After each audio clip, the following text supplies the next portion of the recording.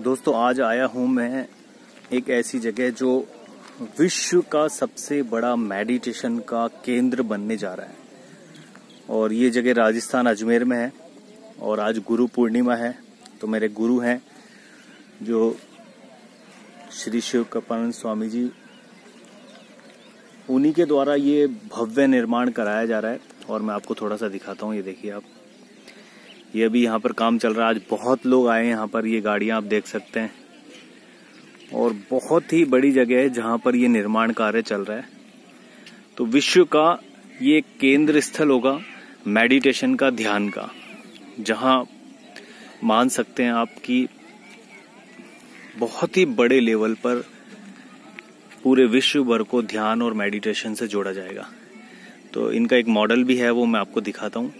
उससे आपको आइडिया लगेगा कि कितने बड़े लेवल का यह मेडिटेशन का केंद्र बिंदु बनने जा रहा है।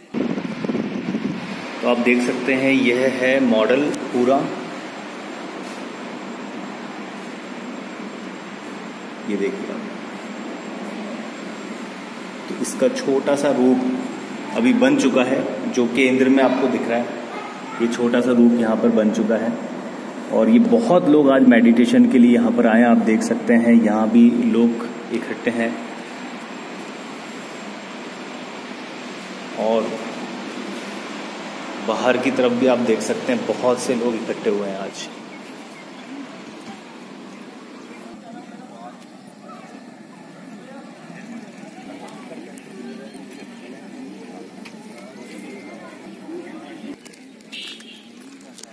तो आज गुरु पूर्णिमा के दिन यहाँ पर हज़ारों की संख्या में लोग एक साथ सामूहिक ध्यान के लिए एकत्र हुए हैं और सामूहिक ध्यान का एक अलग ही परिणाम, एक अलग ही रिज़ल्ट मिलता है।